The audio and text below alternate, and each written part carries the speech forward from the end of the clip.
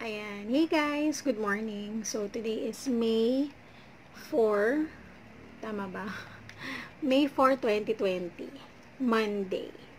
Okay, tama. So, time check, it is 9.57. Kita niyo ba? Medyo masyadong maliwanag.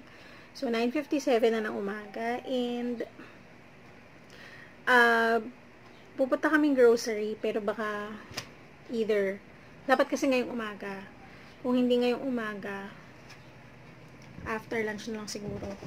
Um, sorry, magalaw kayo. And kung masyadong mahangin, kasi may electric fan sa harap ko kasi sobrang init talaga guys. Actually, kakatapos lang namin mag-breakfast. And, um, tawag dito, nag-shower ako agad.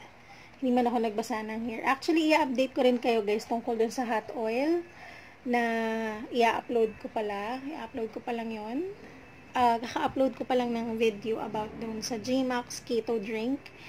Um, yun nga lang, that video was filmed April 3 pa. And after nun, parang mga twice pa lang ako nakainom. So, hindi ko siya everyday naiinom. So, hindi ko pa, siya, hindi ko pa kayo mabibigyan ng uh, talagang final uh, thoughts and final feedback about dun sa Gmax Keto medyo expensive kasi siya para sa akin. Medyo mahal yung isang kilo na juice. Um, good thing, meron silang mga promo, like mga sale, mga 35% off. Um, yun. Uh, 1,500 siya mahigit eh, sa isang kilong juice. Tapos alam ko yung sa akin kasi nabili ko lang siya. Ginamit ko yung promo code ni May Layog. Yung sa iba na nakikita ko, or sa Facebook page nila or sa site nila, 35% eh, parang nasa 900 plus. Ang alam ko, sa pagkakatanda ko, mas mura pa doon yung pagkakabili ko that time. Pero anyway, iyon. So, sabi nga, 2 hours, ay, sorry, pagkagising, inom ka na noon 2 hours before ka kumain ng breakfast. And then, 1 hour before ka matulog, pwede ka pang uminom ulit. Wala kasi doon, yun, yun lang din yung napansin ko. Doon sa mismong packaging ng Gmax Keto Drink, wala doon yung um, ano ba tawag doon? Kasi doon yung directions, like, kailangan mo ng 2 tablespoons sa 12 ounces na tubig. Pero wala siya doon na indication na nakalagay na you can drink this, ganyan, ganyan. Kailangan mo puntahan yung website nila or yung Facebook page. So, yun. We'll see Meron pa rin ako isang i-upload pa. So, abang-abang lang kayo, guys. Uh, what else? Uh, ayun nga, yung sa hot oil, i-update ko kayo tungkol dun sa golden something na nabili ko sa Watsons na hot oil sa buhok. Kasi, ito yung, ginamit ko siya kahapon. So far, okay naman. Malambot yung buhok ko. Madaling suklayin. Kasi hot oil naman siya. So, ayun lang. Balikan ko kayo later, guys. Ah, wait lang.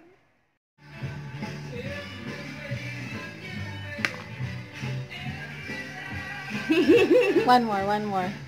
Pakita mo muna sa kanya yung treat. Up. Mas mataas, mas mataas. Hi. Okay, okay, okay, okay.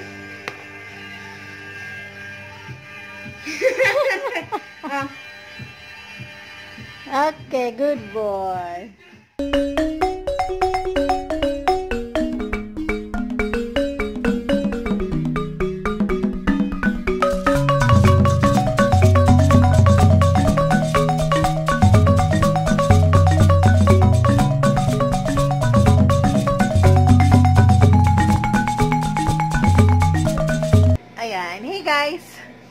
Welcome back to my channel.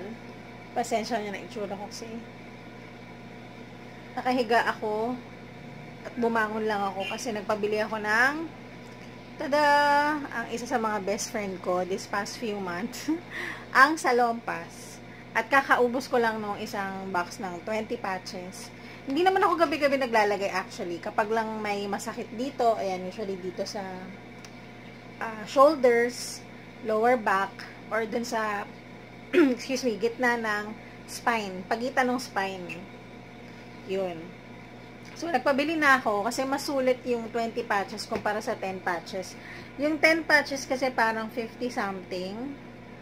Ito, 94 pesos sa Mercury. malapit sa amin.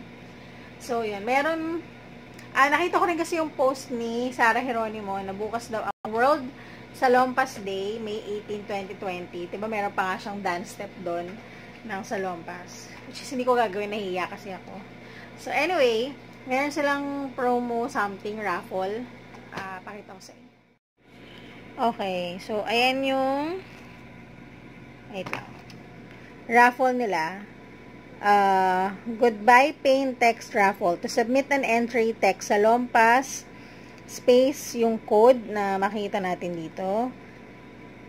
Space, Mercury Drug, and then yung branch name. Send to 2948. Tapos to register, text sa Lompas, space, reg, uh, register, space, name, gender, complete address, birthday, and send to 2948. So, ayun. Gawin ko lang to. And, ayun. Sa akin, very effective to eh. Okay sa akin tong salompas na to. Favorite ko to. Kasi, pag na, pag nagdidikit din ako sa likod, nababawasan yung ano, pag, pag tinanggal mo na siya, nasasama yung ibang buhok. Which is tonto ako pag, pag nakikita ko may natatanggal na buhok sa likod ko. So, ayun. Mag-text na tayo kay 2948.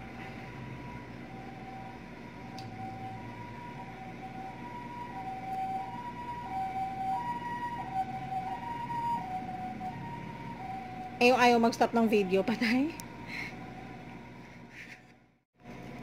Dahil dyan, kailangan nating buksan yung or kailangan nating tanggalin yung plastic. At tinata tinatamad akong kumuha ng gunting.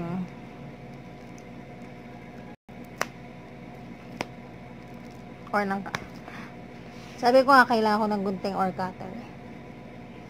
So, Tiningnan ko yung resibo, 94.50 pala siya. So, if scratch na natin. Okay, so meron na tayo ditong 25 cents. Scratch na natin ang card reveal code. Bakit ayaw niya? Ayaw niya magpa-scratch. May code ba talaga dito? Effort ah.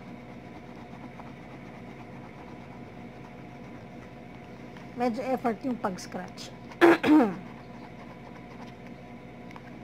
okay, kaya natin to. Ang tagal. Okay guys. Natatawa ako kasi pinagmamalaki ko pa sa inyo na may raffle si Salon Pass. Tapos na pala, wala naman kasing date dito. So, ayun. Tinext ko pa yung salon pass space yung code. Tapos, basta lahat ng nandyan. Tapos, sabay text sa akin. Ano yun? Basta natapos na yung um, raffle na to nung May 15. So, goodbye raffle. Hindi goodbye. Ay, sorry. Ah, uh, oo, yun. So, ayun lang. Wala lang.